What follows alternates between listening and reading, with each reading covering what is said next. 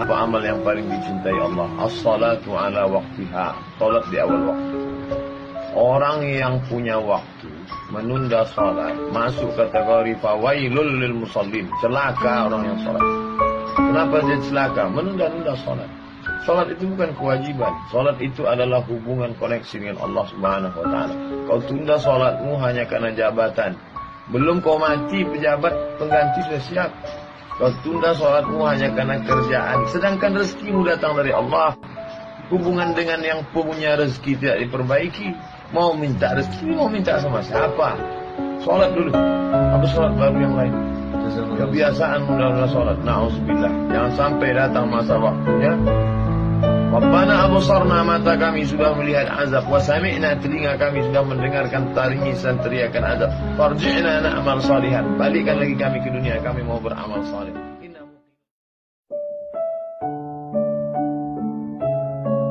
Nikmat ini baru terasa kalau dia tak ada. Ketika dia ada kita menganggap ini bonus dari Allah. Telunjuk ni baru kita terasa nikmat telunjuk ketika telunjuk luka. Ketika telunjuk luka tak bisa lurus barulah asyhadu alla ilaha illallah. Barulah terasa bahwa itu nikmat. Sudah tak ada dia baru kita rasa nikmat. Oh, yang lebih celakanya ketika nikmat hidup itu sudah dicabut Allah baru terasa bahwa nikmat hidup itu rupanya nikmat. Nauzubillah. Absarna mata kami sudah menengok azab wasami'na telinga kami sudah mendengar azab farji'na balikkan lagi kami ke dunia ya Allah. Na'mal salihan kami mau beramal saleh tak bisa. Apa lagi? Penyesalan tak bermakna.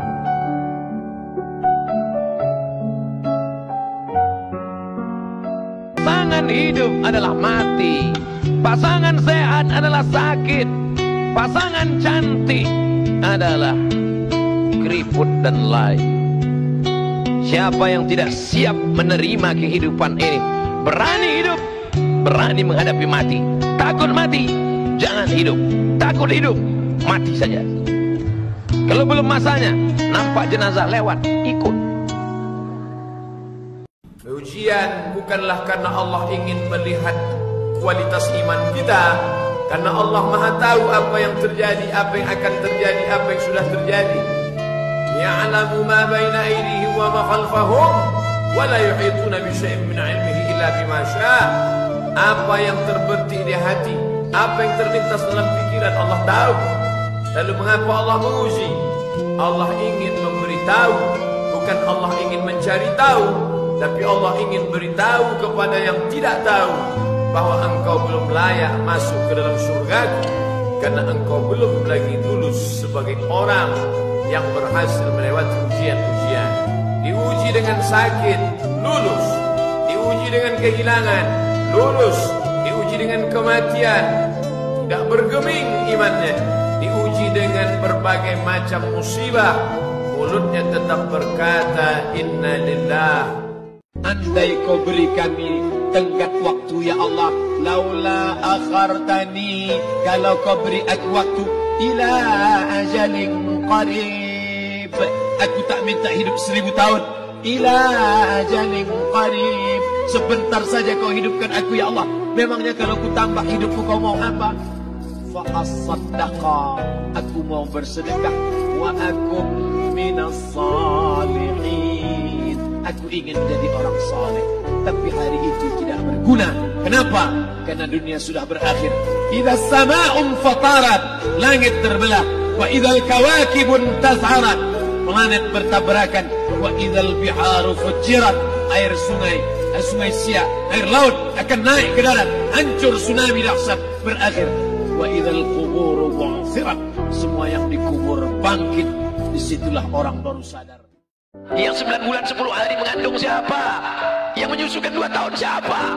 Hari ini saat dia tidak bisa mendengar Membelikan alat dengarnya pun kau berhitung. Padahal kalau kau gendong dia dari Bandung sampai ke Makkah Kau bawa lagi pulang. Belum tentu dapat menembus satu tetes darahnya saat melahirkan engkau.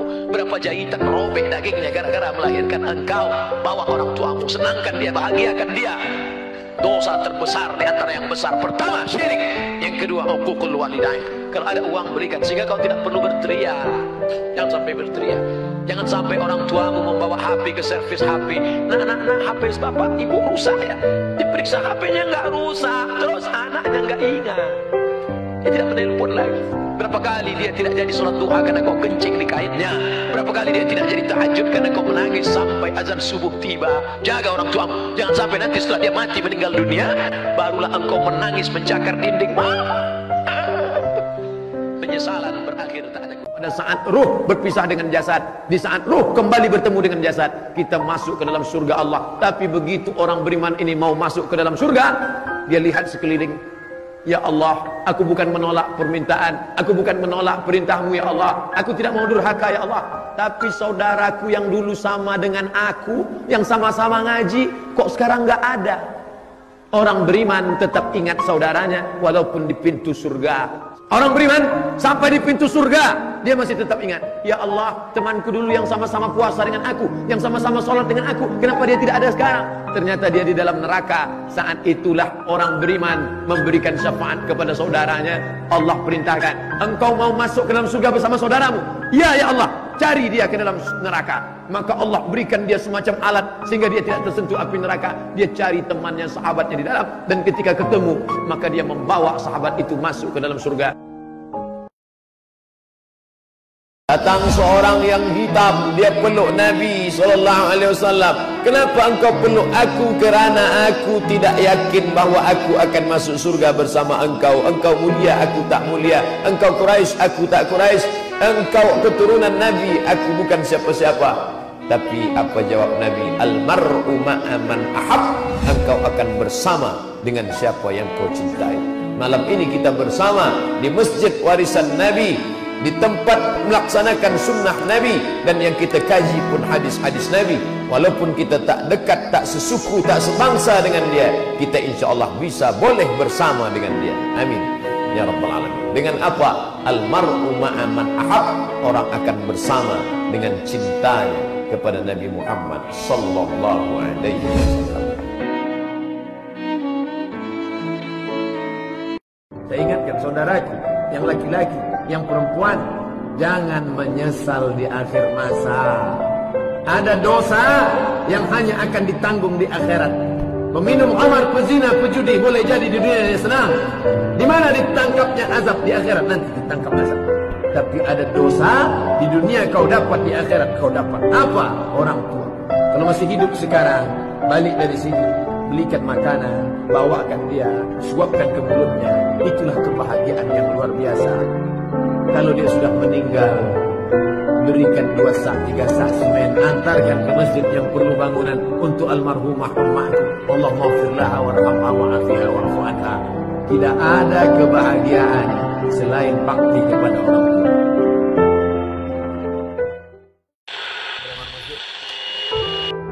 Beribadah karena orang Beribadah karena harta Beribadah karena yang lain. Allah tak mau diduakan. Itulah mengapa kita selalu mengatakan ibadah lillahi ta'ala Allahu Akbar. Maknanya apa? tak bercampur di dalamnya. Orang-orang yang beribadah karena tetangga beribadah karena mertua beribadah karena kawan beribadah karena sahabat beribadah karena pujian. Apa kata Allah? Izhabu pergi kamu. Pergi ke mana? Izhabu ila man turauna ilaih. Pergilah kamu dulu ibadah karena siapa? Kemana kamu tunjukkan? Minta kepada dia. Maka kita tak ingin ibadah kita tadi hilang seperti buah yang ranum yang mengkal tinggal membuka diharapkan akan makan. Tiba-tiba isinya busuk kenapa? Karena ibadah rusak gara-gara tidak ikhlas kepada Allah sekarang manusia zaman ini menetapkan standar paling baik adalah kalau dilakukan orang banyak baik. Itu kata orang sekarang. Apa itu baik? Asal dibuat orang banyak baik kalau dilakukan tokoh masyarakat panutan baik walaupun salah asal yang membuat itu pejabat asal yang membuat itu orang kaya asal yang melakukan itu orang berkuasa apapun yang dia lakukan benar walaupun salah Itulah yang dibantah oleh Islam. Itu Jangan lagi kamu mengatakan baik karena dilakukan orang banyak. Jangan kamu katakan baik karena dilakukan orang punya harta, orang punya kuasa, orang punya kekayaan. Tapi kau katakan itu baik karena Allah mengatakannya baik. Takut terjerumus dalam riba, takut terjerumus dalam subhat, takut makan haram sehingga dia biarkan dirinya dalam kesusahan susah dalam pandangan manusia melarat dalam pandangan orang kaya tapi hidup mulia dalam pandangan Allah para malaikat nabi dan rasul. Hari ini orang itu dikatakan bodoh hari ini dia dikatakan goblok hari ini dia dikatakan kamu tolol sekali. Mengapa tidak kamu pakai kekuasaanmu? Mengapa tidak kamu pakai kesempatan? Hidup hanya sekali. Pakailah sesuka hati tapi dia takut kepada Allah Subhanahu wa taala. Pagi dan petang dia katakan, Allahumma ajirna minan nar. Allahumma ajirna minan nar. Allahumma ajirna minan nar. Selamatkan kami, aku, istriku, anakku, keluargaku dari api neraka ya Allah. Betapa kehidupan yang singkat, tapi di tengah hidup yang singkat ini banyak yang tidak sadar. Salat jangan pernah tinggal. Jangan pernah tinggalkan salat. Sekali kau tinggalkan solat, roboh tiang. As-salatu imaduddin. Solat tiang agama. Kenapa masjid yang kokoh ini bisa tegak berdiri dengan kubah yang cantik, lampu yang berwarna-warni, masya Allah. Tiang satu, dua, tiga, empat, lima, enam, tujuh, delapan. Tiang-tiang besar. Andai tiang ini tumbang, inilah solat, solat, solat. Maka jangan sampai tinggalkan solat. Kalian yang gadis-gadis, carilah suami yang rajin solat berjamaah. Di mana orangnya? Tidak terlalu jauh dari sini. Eh, anak-anak muda, kalian kok belum ke masjid? Kenapa belum hijrah? Kenapa belum buat komunitas? Kenapa belum pindah dari yang tidak benar kepada yang benar? Kenapa belum pindah dari yang batil kepada yang betul? Malu Pak Ustaz, masih muda kok ngaji. Masih muda nih ya, gaya-gaya dulu lah. Bukan malu. Ini tidak benar. Oleh sebab itu yang dimaksud dengan malu itu apa? Malu umur panjang tapi belum ibadah.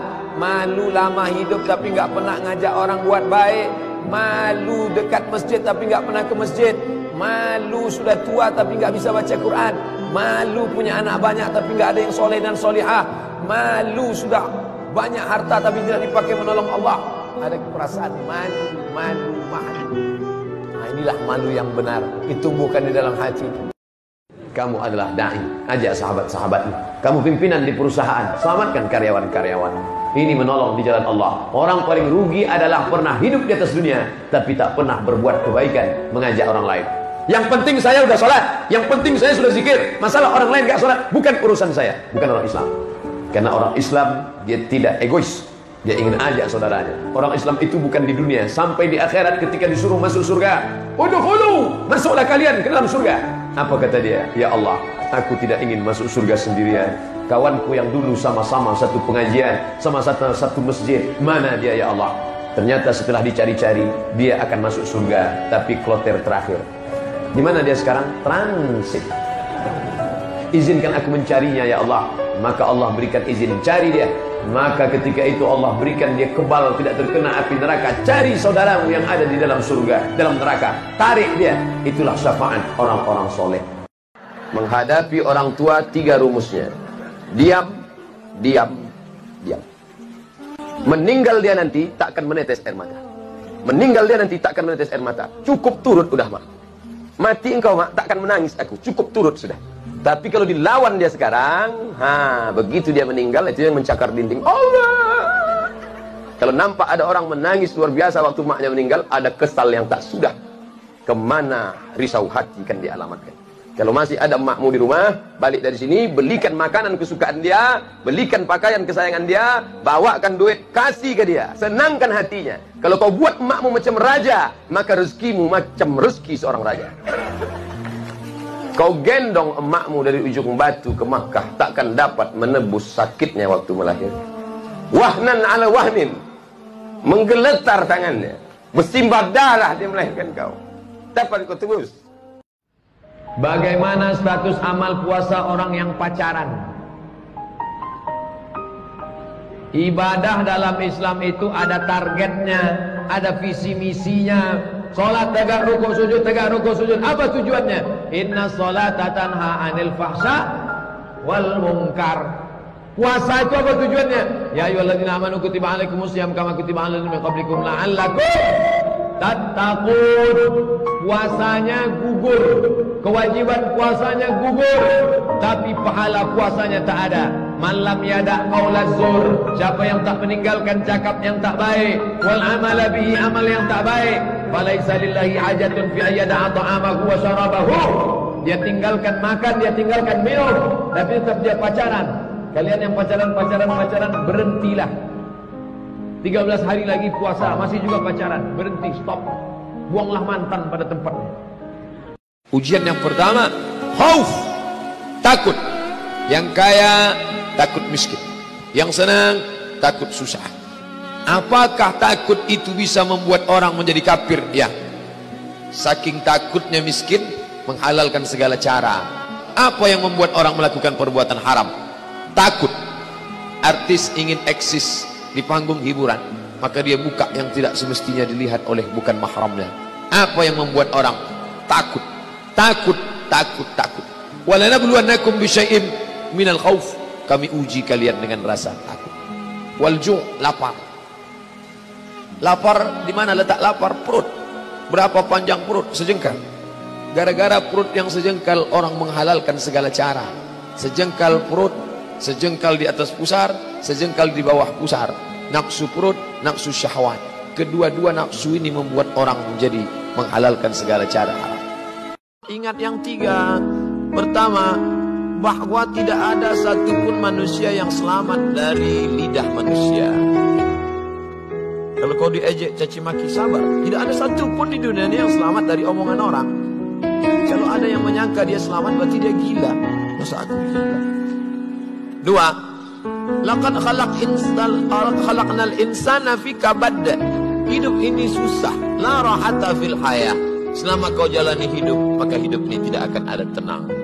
Suami baik, istri gak baik. Istri baik, suami Fir'aun. Suami baik, istri baik, anak geng motor. Suami baik, istri baik, anak baik, mantu tukang santet. Ada saja. Lalu kemudian tak ada satupun yang selamat dari kematian. Kita...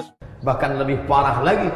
Sampai dia berkata, aku tidak pernah sholat, aku tidak pernah puasa, aku tidak pernah berzakat. Kenapa rezekiku lancar? Kenapa anakku sehat? Kenapa aku umur panjang dan kekuasaanku hebat? Eh. Yukhadi'un Allah. Mereka merasa sudah menipu Allah. Wahuwa khadi'ahum. Padahal Allah sedang memainkan mereka dalam tipu daya bernama istidraj. Sanastadrijuhum min haitsu la ya'lamun. Kami ulur mereka dengan istidraj. Wa umli lahum. Aku ulur umur panjang. Aku beri kekuasaan yang tinggi. Aku beri harta yang banyak. Aku berikan anak istri hidup yang tenang. Tapi sebenarnya itu adalah laknat bersampul rahmat. Jangan lupa subscribe, like, and share.